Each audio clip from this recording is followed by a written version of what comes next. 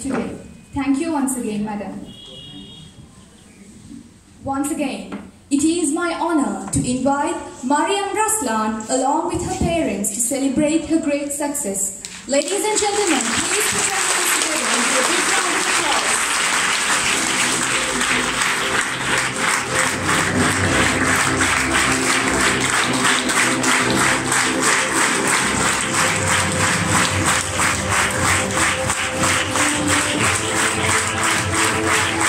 Thank you.